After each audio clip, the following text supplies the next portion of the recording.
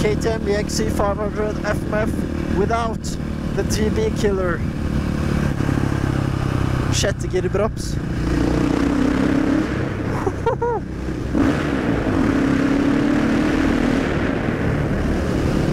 Satan!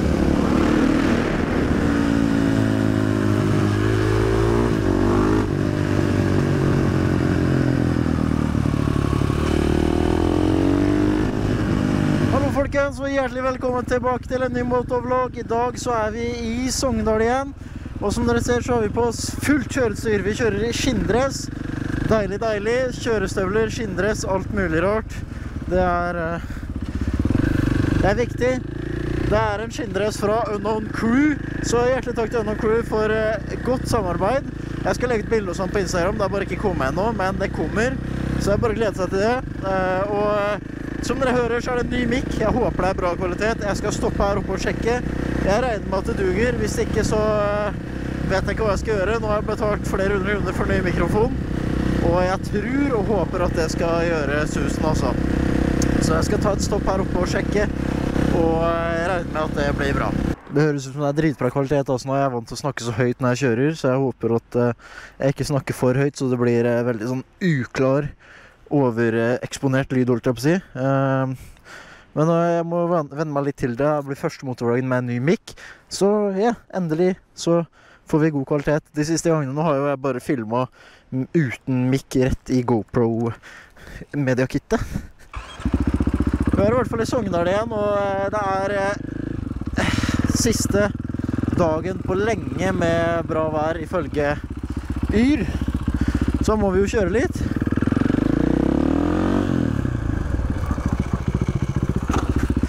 Så eh, ja.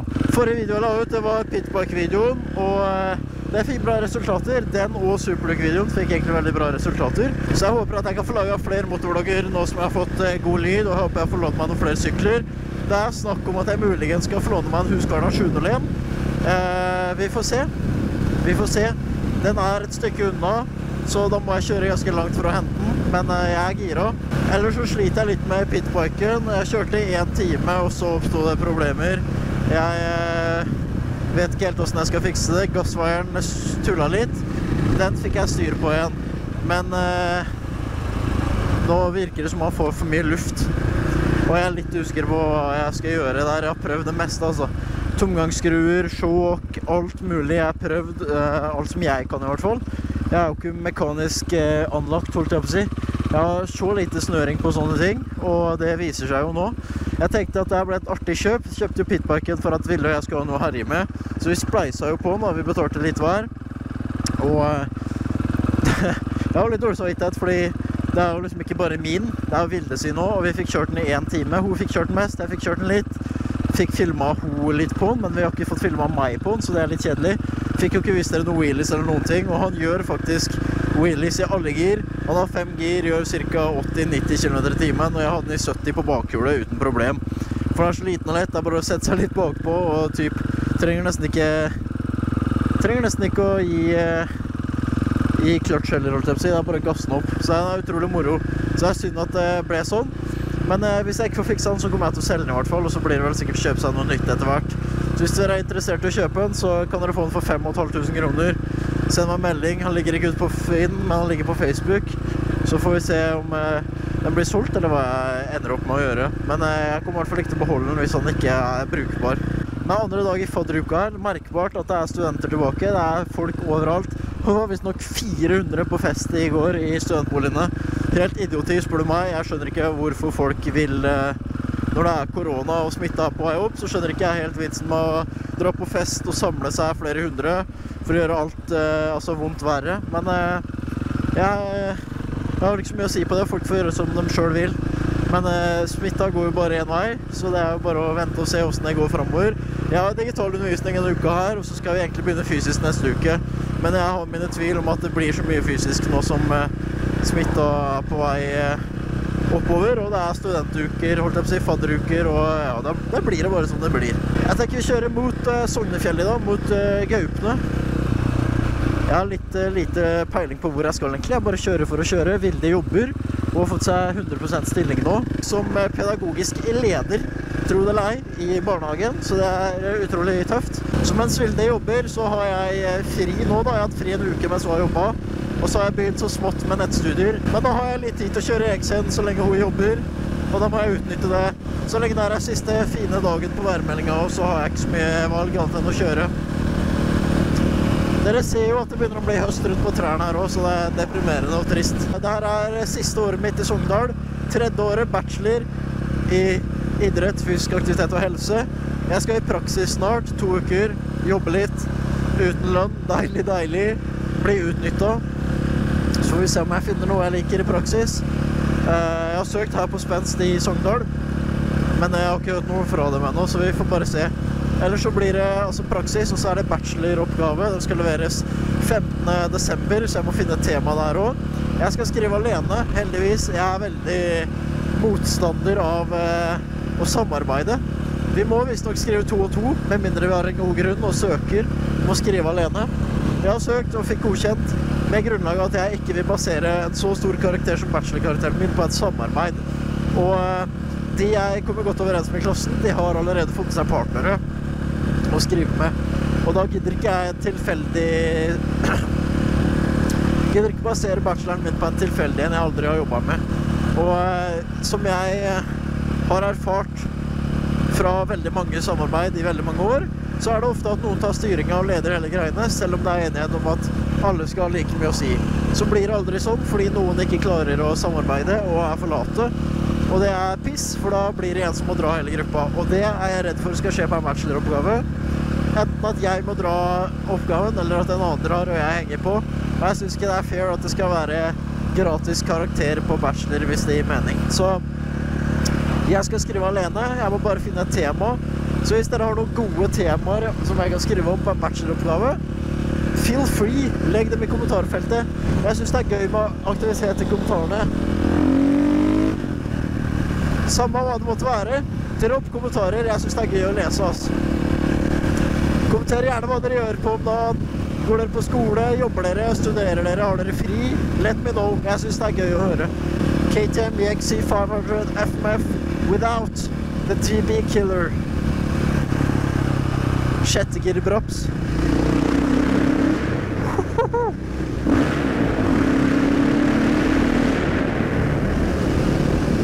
Satan!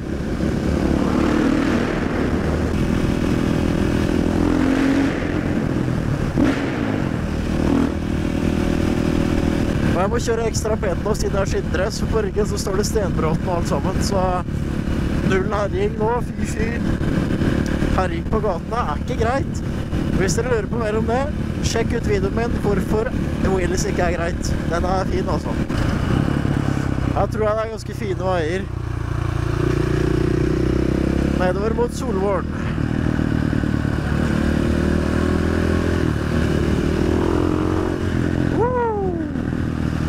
Deilig å høre FMF-en smelle i fjellveggen her.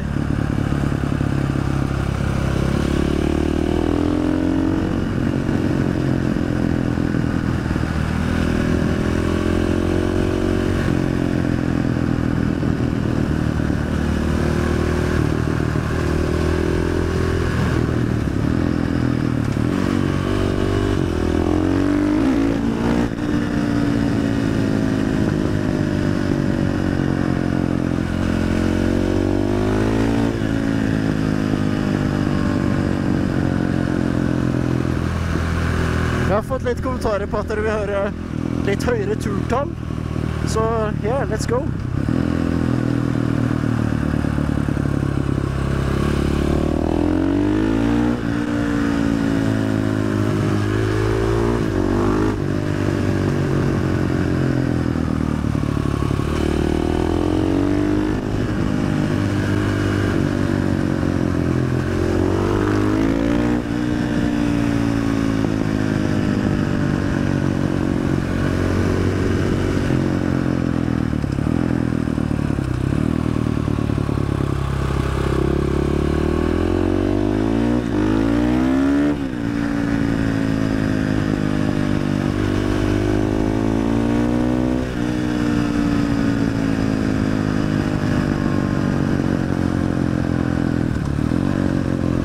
Som er gokartbane her.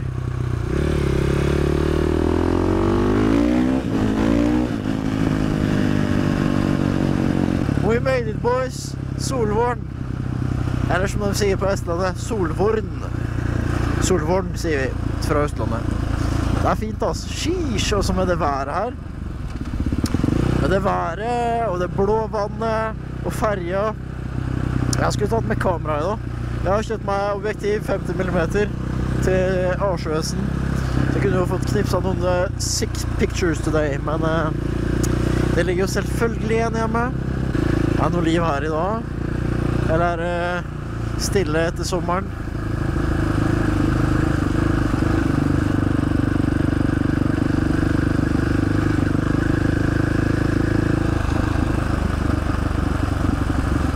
Det var en del biler her, da, faktisk.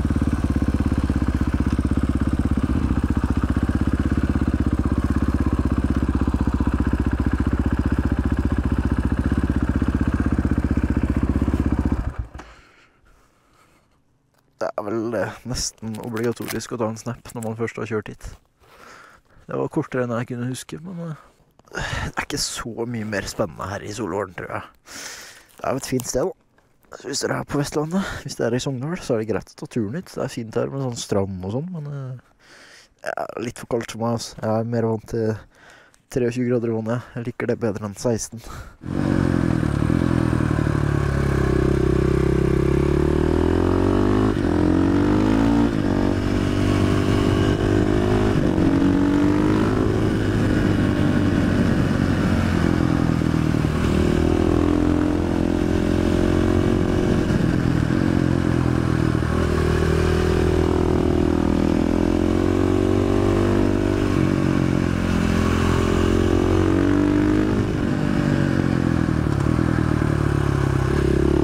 Grus.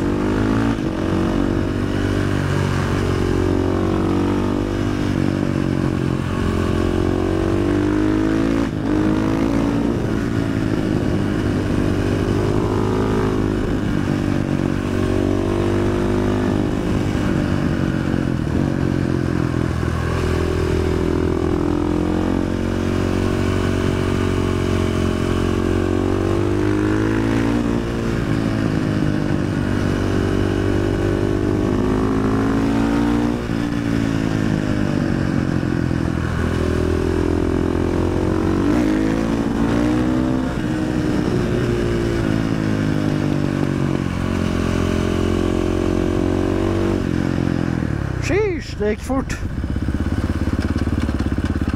Det føltes lenger ned enn opp, for å si det sånn.